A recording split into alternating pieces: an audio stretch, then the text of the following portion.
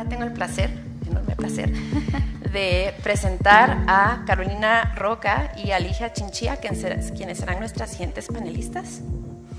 Carolina Roca es la decana de la Facultad de Educación de la UVG. Fue vicerrectora académica de la Universidad Rafael Landívar, fellow del Instituto Weatherhead de Harvard.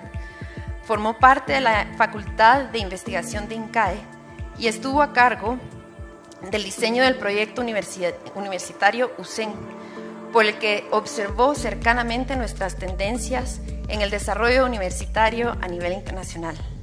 Es economista y obtuvo un máster en Administración Pública de la Universidad de Harvard. Tiene amplia experiencia en gestión pública, habiéndose desempeñado como superintendente de la SAT, viceministra de Finanzas, de Energía y Minas, y directora de financiamiento externo y fideicomisos. Por más de 15 años estuvo en consultoría nacional e internacional. Carolina contribuye al desarrollo social como miembro de directivas de Friendship Bridge, Empresarios por la Educación, Funda Sistemas y Vital Voices. Bienvenida Carolina. Y Ligia es licenciada en Administración de Empresas de la Universidad de San Carlos de Guatemala y cuenta con una maestría en Administración de Empresas del INCAE. En la actualidad es coordinadora de la Academia de Mujeres Emprendedoras de Guatemala. Coordina además el eje de capital humano de la iniciativa público-privada Guatemala no se detiene. Como empresaria, es CEO de la empresa Terola, una empresa dedicada a apoyar a los que apoyan, ofreciendo tres servicios, inversión de impacto, inteligencia de mercado y consultoría. Hasta el 2016 fue gerente general de Kiev de los Bosques, la marca que mejor conocemos como Wakami. Fue gerente de proyectos de la empresa Inversiones y Desarrollo de Centroamérica IDC por 15 años y anteriormente fue miembro de la Facultad Académica de INCAE. Ha sido consultora de organismos internacionales, así como de empresas y gobiernos de Sudamérica. Participa activamente como miembro de juntas directivas de organizaciones privadas y sin fines de lucro y es coautora de tres libros en la temática de la pequeña empresa, competitividad y emprendimiento en Centroamérica. Bienvenidas a ambas. Muchas gracias. Bueno, buenos días a todas. Eh, un placer a todos. Eh, es un gusto estar con ustedes. Y eh, como ya les contaron, nosotras representamos la mesa de capital humano. Carolina es mi champion, como le llamamos, de la mesa de capital humano de esta iniciativa que busca la generación de 2.5 millones de empleos en el país para el 2030. Una meta enorme en la que seguramente todos ustedes participan. Les agradecemos mucho estar aquí y quisiéramos comenzar este espacio eh, yo no sé ustedes, yo no soy una mujer que se levante muy temprano, hoy me hicieron levantarme temprano y entonces, y entonces queremos ver si podemos mover un poquito el espacio para tratar este tema que nos encanta a todas, que se llama el empoderamiento femenino. Y quisiera que lo que hiciéramos sería tomar, hacer un ejercicio de un minuto para saber si ustedes están aquí hoy presentes.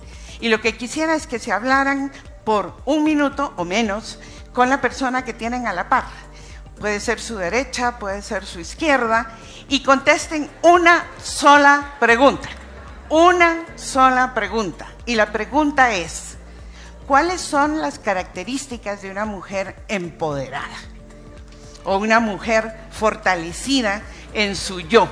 A ver, un minuto, contado con cronómetro.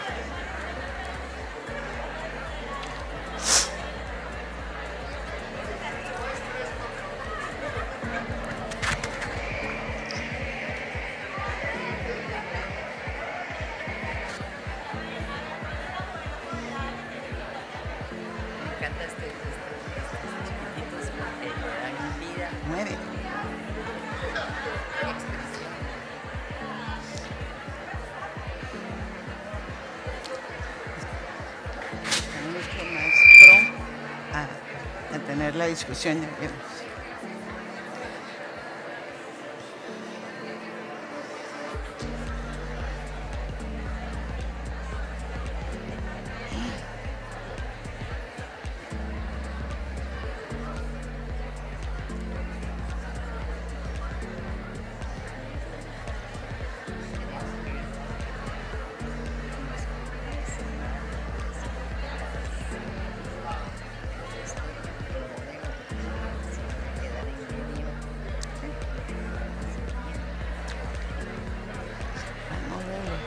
El último.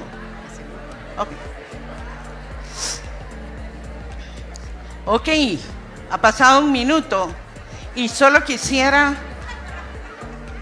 creo que se entusiasmaron muchísimo con la conversación.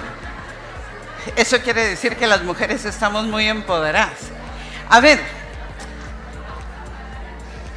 eh, quisiera que alguna de ustedes eh, se pueda levantar y a viva voz nos pueda decir cuáles fueron esas tres características de una mujer fortalecida en su yo, en su empoderamiento, como le llamamos en muchos casos. A ver, ¿quién se atreve? A ver, ¿quién es la mujer más empoderada de este salón? Allá veo una mano. Ah, no. Ah, no, está diciendo adiós. Ah, ok. Aquí, ¿cuáles son esas tres características para ustedes en su dúo? Pues nosotros llegamos a la seguridad en sí misma, el valor para plantarse a su entorno y el tomar acción. Muy bien. ¿Alguien tiene algo supremamente bueno y distinto que no lo haya podido decir todavía o que no esté aquí? Sí. Allá va el micrófono. Entonces, seguridad en sí misma, lista para la acción, importante, ¿ok? Gracias. Buenos días. Sería liderazgo, apoyo y empresarialidad. Ok, liderazgo, apoyo y esa capacidad de emprender retos nuevos. Bueno, seguramente tendrán muchísimos más. Ah, aquí tengo una persona más, perdón. Sí. Ser una mujer dinámica. Ajá. Ser una mujer también que pueda que pueda ser de ejemplo a más mujeres, inspirar a más mujeres. Ok, inspiración, eh, dinamismo, capacidad de la acción, seguridad en sí mismo, liderazgo, en una palabra. Yo quisiera que esas características que ustedes conversaron, que seguramente son más allá de las que nosotras en, en un dúo podemos tener, quisiera que las fueran pensando a la luz de un ejemplo.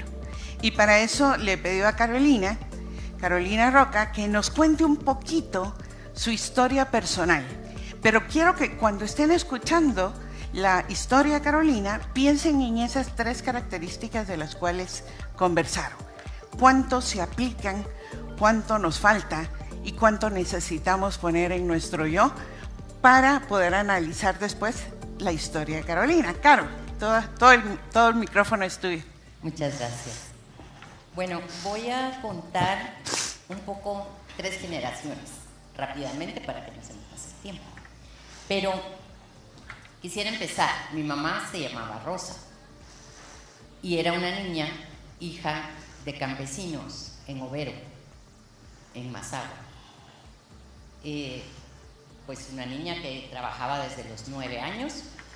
Eh, le ponían un banquito para que pudiera echar tortillas porque era muy chiquita eh, una familia que a esa edad eh, perdieron su casa, se quemó y sufrieron mucho porque tenían algo muy valioso en ese terreno que era rentado de, del abuelo. una planta de ayote que o daba flor o daba ayote y siempre era una fuente muy valiosa para ellos de comida. Pero bueno, se fueron buscando a la costa, se fueron desde el altiplano porque eran de Chimaltenango. Y bueno, mi mamá no pudo estudiar más que hasta tercero, que era la, lo que había en la aldea. Y la maestra le pidió al abuelo, que, a mi abuelo, que que dejara que se fuera a la, cabecera y que siguiera estudiando porque ella era una niña chispuda. Y, y, pues tenía que ayudar, tenía nueve, eran nueve hermanos y tenía que ayudar. Y no la pudieron dejar o no la quisieron dejar. El tema es que se quedó ahí. Después se vino a la capital, trabajó en una fábrica que se llamaba El Cometa, yo todavía conocí el cometa, estaba en un cerro ahí en zona, creo que esa es zona 9. Eh, Y cuando yo llegué a cuarto grado, recuerdo que mi mamá, la puedo dibujar ahora mismo, el lugar donde estábamos, todo lo que había pasado. Y ella me dijo, mira, yo me quedé en tercero, pero tú vas a entrar a cuarto. Yo estaba en la escuela pública, en la escuela número 55 de la colonia Centroamérica. Y me dijo, ¿no te importaría que yo estudie contigo? Yo te voy, tú me das matemática los fines de semana y lenguaje, y yo te voy a hacer tus costuras porque sé que no te gustan. Y entonces hicimos ese trato y mi mamá y yo estudiamos juntas, cuarto, quinto y sexto. Y tengo una foto en alguna caja donde estamos eh, recibiendo el diploma juntas. Eso es una gran alegría. Ella eh, aprendió muchas cosas, trabajó en un, en un hotel, eh, llegó a ser pues una persona eh, importante en la administración, se desarrolló muchísimo, fue pues la persona responsable de ventas en, en una de esa misma familia de los Dorión Castillo, eh, una tienda de antigüedades, aprendió mucho de, ese tema. era una mujer eh, con agencia, como se llama todo lo que se mencionó acá. Esa posibilidad, esa creencia en uno mismo, eh, esa capacidad de influir en otros. Y, y bueno, eso para mí es muy importante porque refuerza esos eh, elementos que a mí, bueno, mm, más o menos me, han presentado, pero yo tuve otras oportunidades, tuve muchas oportunidades y creo que mucho se debe al papel de mi mamá como un role model, pero también al papel de mi papá.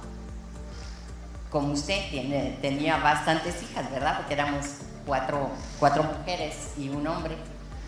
Y eso hizo que siempre hubiera una posibilidad, o sea, no había diferencia en el trato entre mi hermano y nosotras.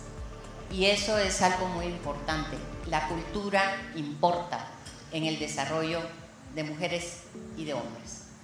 Entonces, eh, quisiera decir que las oportunidades que tuve, pude no haberlas aprovechado pero también cuenta la mentoría, el encontrar a alguien que uno admire. Yo admiré mucho a mi maestra, como mi mamá admiró mucho a su maestra, a una maestra de primaria generalmente, a alguien que se vuelve un ícono para, para perseguir sueños también.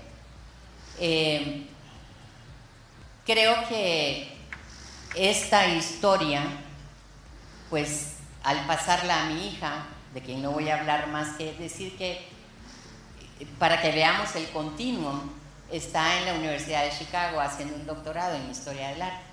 Entonces, esta es una, una historia que nos puede decir que sí se puede. Tomó tres generaciones, pero todas hemos podido tener oportunidades, aprovechar oportunidades en ambientes distintos, en épocas distintas. Y es eso de lo que quisiera comentar de esta, de esta historia. Y es que, eh, si quieren, pasamos a las... Después vamos a regresar solo para cerrar acá, pero y, ahí voy. Este es el modelo integral de foramiento de la mujer. Nos dice que es necesario, y eso lo podemos ver en la historia y en las historias de cada una y cada uno de nosotros. Hay niveles, el macro, que es a nivel de la sociedad, el nivel meso, a nivel de las relaciones de familias, amigos, comunidad, y el nivel individual de la mujer o de la persona. Y ahí tenemos recursos y condiciones, pero no solo recursos económicos. Los recursos es la percepción de control sobre uno, sobre su propia vida, la autoestima, la educación, el capital relacional. Somos capaces de venir a una reunión como esta y hablar. Somos capaces de relacionarnos con otros. La dinámica familiar. Si hay violencia, si hay role models, o sea, personas a las que uno quiera y puede admirar. La vivienda es un gran recurso. los activos, que a qué tiene acceso y a qué tiene control. El acceso a instituciones. Conocemos a dónde ir a poner una denuncia, conocemos cómo, a, dónde ir en nuestra comunidad para solicitar una ayuda o para apoyar a otros. También el segundo pilar de, esta, de este modelo es lo que llama, se llama agencia y es la habilidad para definir las metas y actuar para alcanzarlas. Ahí tiene que ver la motivación, tiene que ver la capacidad de ponerse uno esas metas, la toma de decisiones, la capacidad de negociar, la proactividad y, como aquí se dijo, el liderazgo. Y por supuesto, los resultados, que no son solo económicos, el bienestar, la independencia económica.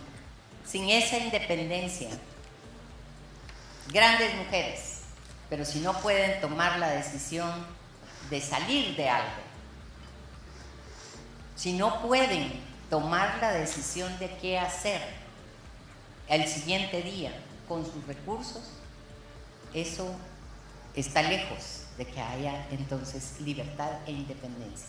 La independencia económica es uno de los grandes elementos de la del empoderamiento, de la capacidad de actuar de las mujeres. La representación social o política, como hemos visto en estas últimas semanas, y la voz y la acción individual y colectiva. Aquí, como ven, dice cultura en, varias cajitas alrededor. Ese es muy importante. ¿Qué tanto nos permite la cultura? Miremos lo que acaba de pasar en el oriente, donde ir al salón de belleza se le prohibió, se cerraron los salones de belleza, se cerraron los empleos públicos para las mujeres. Los talibanes lo volvieron a hacer. Entonces, eso es parte de la cultura. Eso irá a favor o en contra en este modelo cómo es en nuestras comunidades, cómo es en, y los hombres y las mujeres tenemos mucho que ver al respecto. ¿Reproducimos o hacemos algo para ir cambiando paulatinamente esa cultura a favor o en contra de lo que puede ser? las mujeres somos la mitad del mundo, de la, la mitad de la humanidad. ¿Y qué pasaría si hay una barquita donde van remando dos y uno deja de remar o nunca rema, siempre va a dar vueltas sobre sí mismo. Eso pasa cuando las mujeres no están activas, cuando no las dejamos empoderar y no van a remar juntos en la familia, en la sociedad. Así que creo que era importante cerrar pensando más allá de todas las maravillosas historias que hemos escuchado, en qué es lo que podemos eh, aprender de ellas en una forma organizada. Esto es producto de, las reflexiones que hemos tenido en diferentes organizaciones que damos eh, apoyo crediticio, a, eh, a 30.000 mujeres con Friendship Bridge, por ejemplo, en el altiplano de Guatemala. Eh, también tenemos organizaciones políticas, sociales, económicas que facilitan estos, elementos del modelo. Y para continuar... Eh, pues ya para cerrar, muchas gracias Carolina. Yo creo que identificaron muchísimo las características que ustedes hablaron en una mujer como Carolina, su mamá, su hija, ahora, porque estamos generando cambios que a veces no se ven y a veces nos frustran. Quisiéramos ir más rápido, pero pensemos en que cada una de nosotros somos parte del cambio. Y lo podremos ser si estamos realmente empoderadas. ¿Y qué quiere decir empoderadas? Pues básicamente todo lo que ustedes conversaron. Esa capacidad de tomar decisiones, esa capacidad de tomar decisiones importantes para, nosotros y los nuestros. La autonomía, el alcanzar un logro como la independencia económica. Tomar decisiones estratégicas en la vida es parte de nuestra capacidad de ser mujeres con todas las letras. Y en el caso de Guatemala no se detiene. Nosotros como programa, como talento humano, no tenemos un capítulo de mujer, pero sí estamos muy enfocados en jóvenes. ¿Por qué? Porque creemos en que los jóvenes guatemaltecos ya están haciendo un cambio para que seamos mujeres y hombres trabajadores por este país que necesita mejorar. Así que muchísimas gracias por habernos escuchado y espero dejarles esto, esta última reflexión. Nada cambia si nada cambia. Muchas gracias.